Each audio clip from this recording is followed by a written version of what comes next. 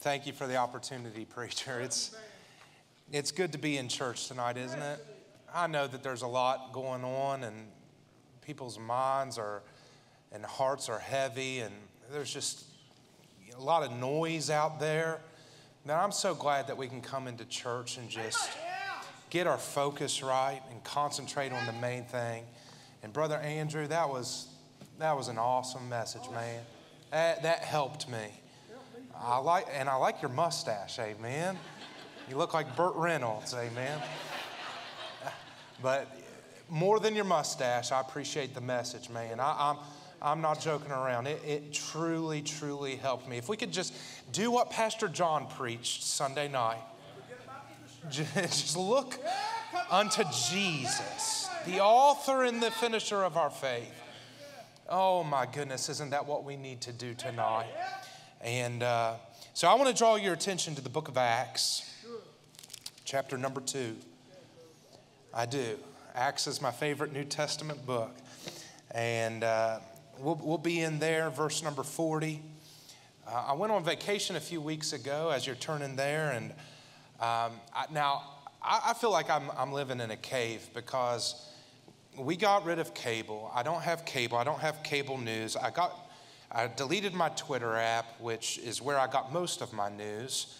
And so I've, I've just been completely oblivious to everything going on in the world. And guess what? It's, it's kind of been nice.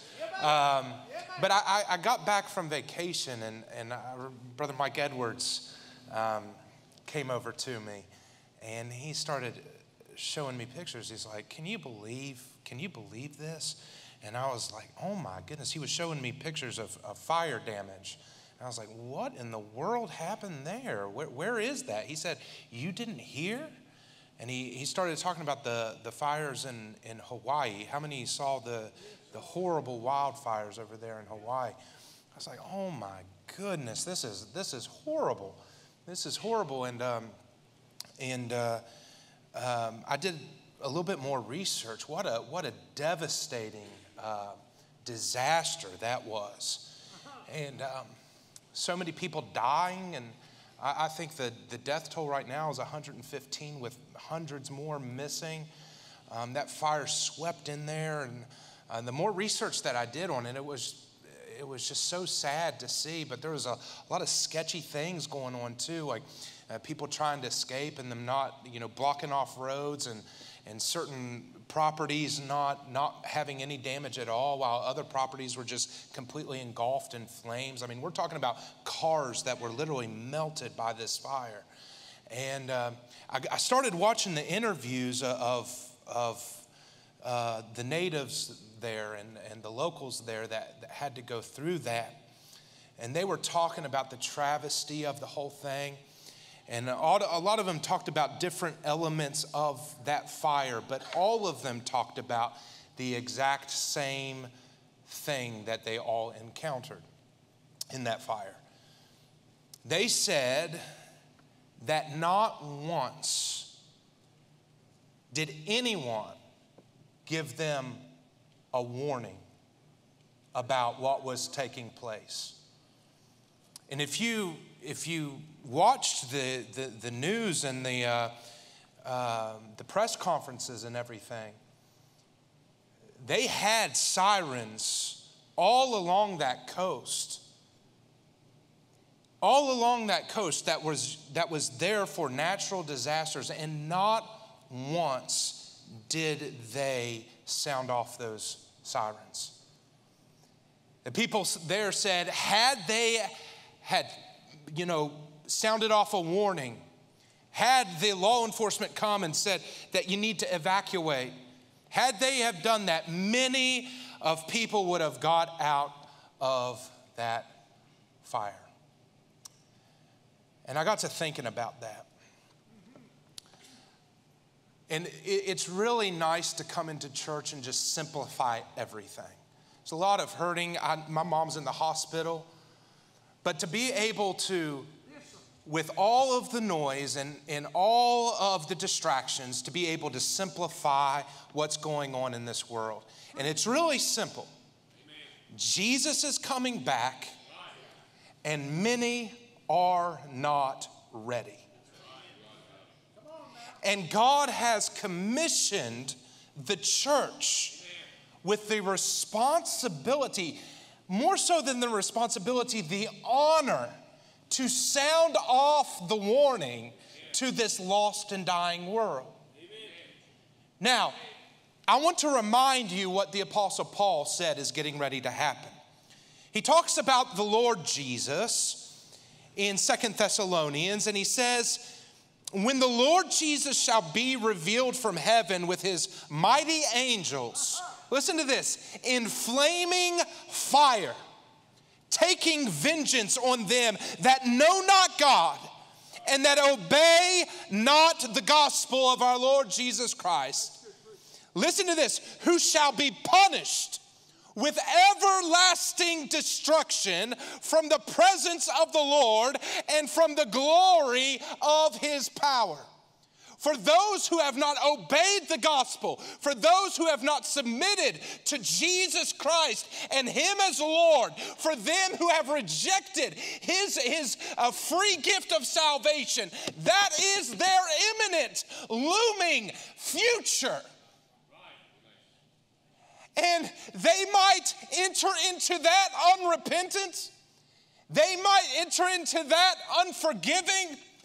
They might enter into that ungodly, but may they not enter into destruction unwarned. We have to sound the alarm, church. We have to, to call out the warning to this lost and dying world. People say, oh, that's not loving. You, you got to be compassionate. The most loving and compassionate thing that the church of the living God can do is to tell this lost and dying world that there is a hell to shun and a heaven to gain. It's the most loving thing you can do. Have we not been commissioned with that ministry? Oh, it's easy to tell someone, oh, God loves you. Oh, it's easy to tell someone about God's grace and God's mercy. And yes, God is full of love and God is full of grace and God is full of mercy, but God is also holy and He's angry at sin.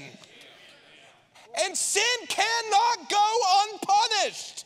He's a righteous God. He's a just God. And all of these people who are so happy in their sin, so blinded by the darkness, they are headed towards that everlasting fire. And we must warn them to turn away and to receive the gospel.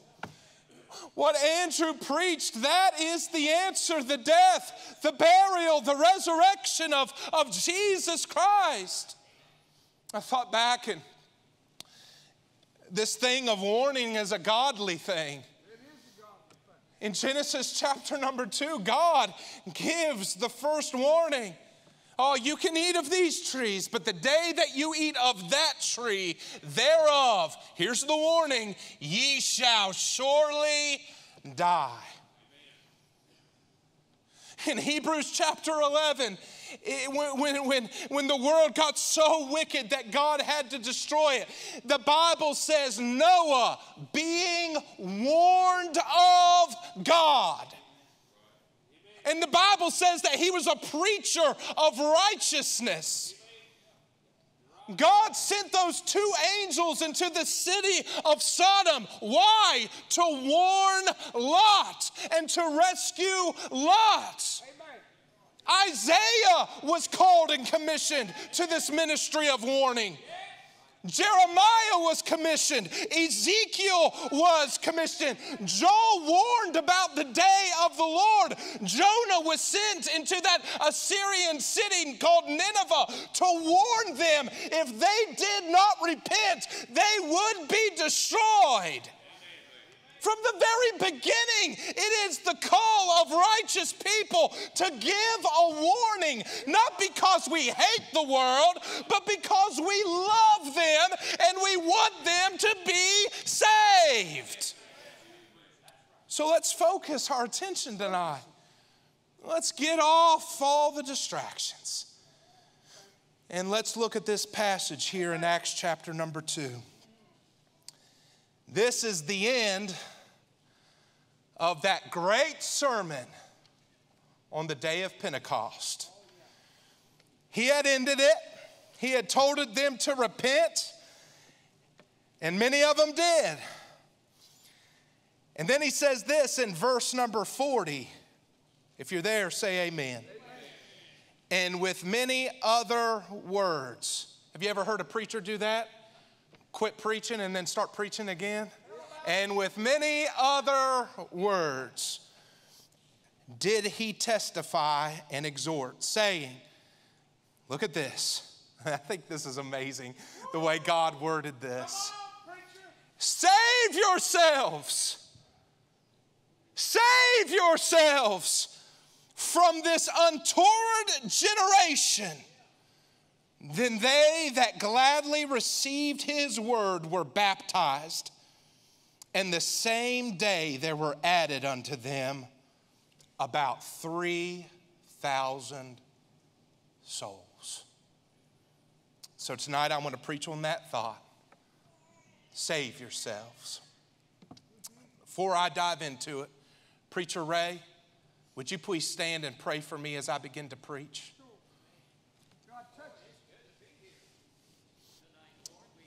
Yes.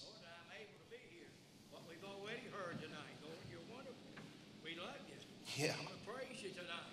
We pray for my brother now, Lord, as he breaks the bread of life. Thank his mom there in the hospital. Be near. Touch her, dear Heavenly Father. All these other requests that Pastor John mentioned, we bring them all before you, Heavenly Father. Lord, it's just good to be here tonight. We thank you for Calvary. We thank you, Lord, for the empty tomb, and glad you're there on the right hand of the Father. Yes. Intercession for us this evening. Amen. Have your way now, Lord. Bless my Father, and we'll praise you in Christ's name. Amen. Amen. Those Hawaiian fires, at the press conference, the guy said, the official who was in charge of sounding off the siren, he said, he gave the reason why he didn't sound off the siren, and it was it goes as this, and everybody said it's it's complete nonsense, but this was the excuse that he gave. He said that that siren is used mostly for tsunamis, and we were worried that if we sounded that siren, that people instead of going towards the ocean would go away from the ocean and go into um, into the fire, go back into the island.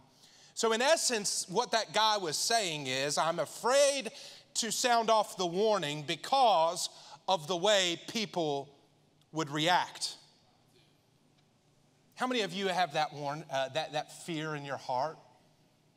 You ever been afraid to, to tell someone about Jesus, to tell someone about their eternity, but yet you did not? You muzzled yourself because you were afraid of the way that they would react.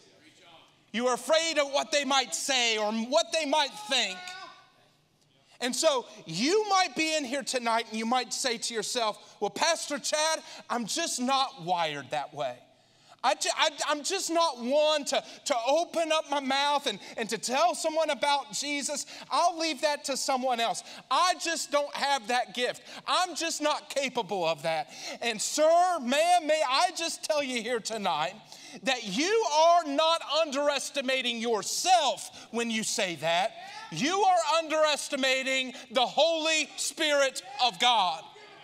That's who you are underestimating because I want to look first at the messenger of God that God is using here. Look at what it says in verse 40 and with many other words did he. Who is the he in this passage of scripture? It's none other than Simon Peter. He is the one that is preaching at the day of Pentecost, who just weeks prior to this denied the Lord Jesus Christ. There was nothing special about Simon Peter.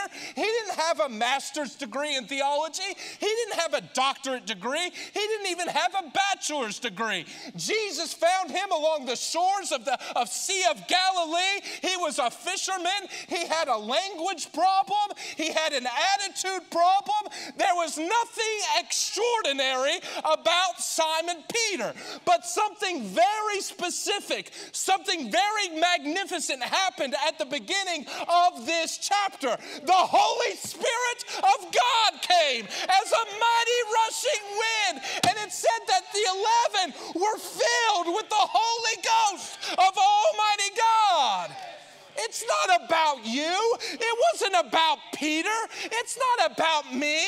The Holy Spirit of God can empower you to do things you never dreamed you could do. So you say, here's the excuse I'm not wired that way. I'm an introvert. I just can't talk to people about that. You're not underestimating yourself, you're underestimating the Holy Spirit because the Holy Spirit of God, when you get filled with that Holy Spirit of God and you start learning about the Bible and growing more in your faith, you can't help but tell others about it. You can't help but sound off the warning to this lost and dying world that Jesus saves. Messenger was Peter. What did he do? Verse number 14, at the very beginning of this address, it says, But Peter, standing up with the eleven, lifted up his voice and said unto them, He stood and he spoke. So much for lifestyle evangelism. It says, oh, you don't need to actually say the words, you just live it, and people will look at you and your life and how you're living. Oh, I agree that living it is very important, but I also believe speaking it is very important. He told us to go, not just live it, but He told us to preach it. He told us to teach it. He told us to open up our mouths and let words come out and to tell this lost and dying world what they need to hear. You say, I can't do it. Yes, you can. If you got the Holy Spirit of God in you, you can do it. Get, a, get rid of the excuses. Just try it. Just once. Try God. Try Him. I can guarantee you, you are not going to be disappointed. And you're going to be amazed at, at the work the Holy Spirit can do in your life when you talk to someone about the Lord. So I see this messenger of God, there's nothing special about him. And secondly, I see this I see the message of God. The message is, was, was simple, and I, th- I, think it's, I think it's so amazing the way it's phrased. He says this Save yourselves from this untoward generation. Now, what does that word untoward mean? Well, you take the word un, which means not, take the word toward, and that means in the direction of. These people were not in the direction of the Lord. It's pretty simple. A synonym of it would be a crooked generation, a wicked generation, an ungodly generation. And so, Simon Peter, and you got to imagine this. You got to imagine the boldness and the courage of Simon Peter. This crowd that just crucified his Savior a little over a month uh, prior to this event, he is preaching to them the exact same message. Can you imagine the boldness and courage of, the Simon, of Simon Peter getting up and proclaiming the glorious gospel of Jesus Christ? And he does it with the power and demonstration of the Holy Spirit of God. And he looks to that crowd and he says, Save yourselves from this untoward generation. Now that sounds very familiar talk to me. Because I know another man that spoke of a few generations. A man that Simon Peter walked with for three and a half years. That man would look at that generation and he would say things like this Whosoever therefore shall be ashamed of me and of my words in this adulterous and sinful generation, of him also shall the Son of Man be ashamed when he cometh in the glory of his Father with the holy angels. You remember that?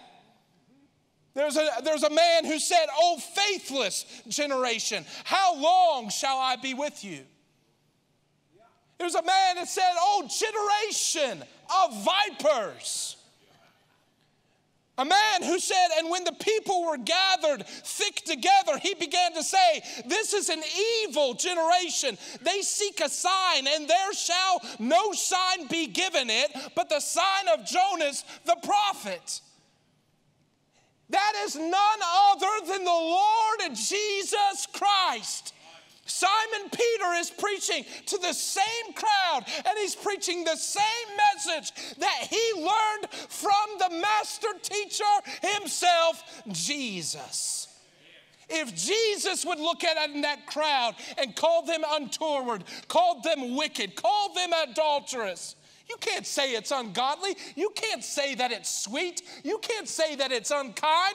No, it's the, the greatest responsibility. It's the greatest thing anyone can ever do is to tell someone that they're lost and they need Jesus Christ. Amen. Jesus warned of hell more than he talked about heaven. At least 20 times he mentioned fire as it related to hell. Jesus said, If thine eye offend thee, pluck it out. It is better for thee to enter into the kingdom of God with one eye than having two eyes to be cast into hell fire. He said, And fear not them which kill the body, but are not able to kill the soul, but rather fear him which is able to destroy both soul and body in hell. How many think that Jesus was a, a hellfire and brimstone preacher? Yes, he, he ate with sinners. But he wasn't eating with them to justify and condone them, their sin. No, he was eating with them to show them a better way, a better life, which is life eternal. So we see the message save yourselves. Not save yourselves from sin. You can't do that not save yourselves from hell. You can't do that. But what he is doing here is he is telling this crowd, you have a choice. Save yourselves from this untoward generation. You have a choice. You can, you can identify with this group and with this generation if you want to. Oh, but I'm telling you, just as Jesus told you, if you follow down this path and you identify with this generation and you go along with what they're doing, it's only going to lead to destruction. Save yourselves from that. The message of Simon Peter was not save yourselves from sin. No, you can't do that. For by grace are you saved, uh, by, by grace are you saved, and that not of what? Yourselves. You can't save yourself. What he's saying is, you have a choice right now to go along with that generation or turn from it to a holy God who will wrap you in his loving arms and forgive you and save you and give you eternal life. You have a choice. You have a choice in here tonight. The message is clear save yourselves from this untoward generation. And then we see this, which is amazing. We see the move of God. Verse 41 Then they that gladly received his word. Can I say this that Jesus brings gladness? He brings fulfillment, he brings joy when you receive Him, when you repent, and you see yourself for who you are, a sinner, and you turn to Him for salvation, you'll be filled with the greatest joy that you could ever experience.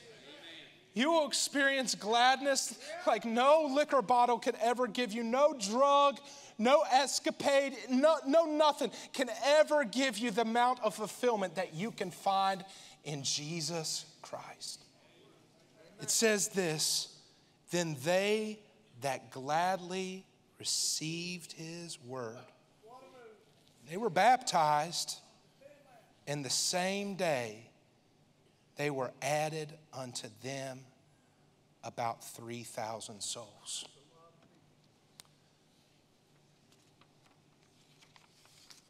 But what if Simon Peter had not sounded off the warning? If you notice, he crowned the sermon at Pentecost, right there at the edge of the temple wall, right there on Solomon's porch where we were, preacher, looking out into the masses. He sounded off the alarm, the warning that there is a way that leads to destruction. And, and we see it everywhere. For those that were there last night, you saw it. You saw people who were completely blinded and that enjoy it, that enjoy the sin and ungodliness and wickedness of this world. Oh, I'm, not, I'm not angry, I'm sad for them. The wrath of God is revealed unto them. They must be warned. This lost and dying world must be warned. And it's not just Pastor John's responsibility, it's not the deacon's responsibility, it is the responsibility of the church. Amen. I want to ask you this question no man knoweth the day or the hour. How many believe Jesus is coming back real soon?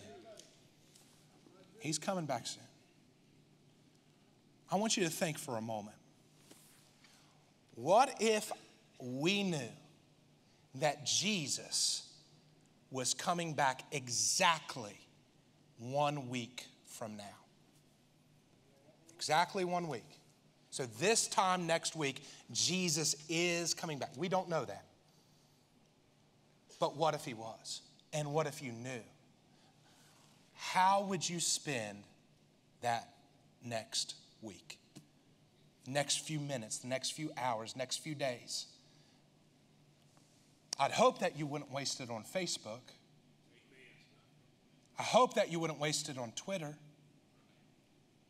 I tell you what I would try to do is I would try to reach that uncle that I know does not know, that I know is lost and on his way to hell. Try to reach that cousin who has the form of godliness but denies the power thereof. Yeah, it takes a little bit of boldness. It takes a little, it takes a little bit of courage. Yeah. It takes a little bit of confrontation. But we can't allow these people to, to blindly enter into the gates of hell without being warned.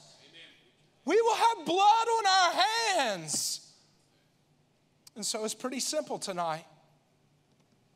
Jesus is coming back real soon. And he's given us the ministry to warn this world about his coming. First time he came as a little baby. But the next time he comes, a sword is going to proceed out of his mouth. And he's going to be King of kings and Lord of lords. And he's going to take vengeance on this earth. I've slacked off in my burden for the lost. And so, what I'm going to do is, I'm going to go up to that altar and I'm going to pray. Because I need to be up in that altar more than anybody tonight. But here's the invitation. How many of you, because of all the noise and distractions of the world, maybe just the experiences of life that have weighing you down, the burdens, you've lost your burden for what really matters. And you need to just refire. You need to, you need to commit to, to telling this lost world that Jesus saves. I'm going to commit to that tonight, and I pray that you do as well. And if anyone is in here tonight, you've been warned. If you do not know the Lord, you know what your future is, but that doesn't have to be your future. We have a God that can change your future if you just come to Him in faith, believing. Every head bowed and every eye closed. Lord, I pray that you bless this time of invitation. I pray that you help us to get a burden, to pass out tracts, to tell our lost loved ones about you. I pray that we would just get revived tonight and fired up to serve you. I thank you so much for your word. And I pray that you help us, enable us, empower us to do your work. In Jesus' name I.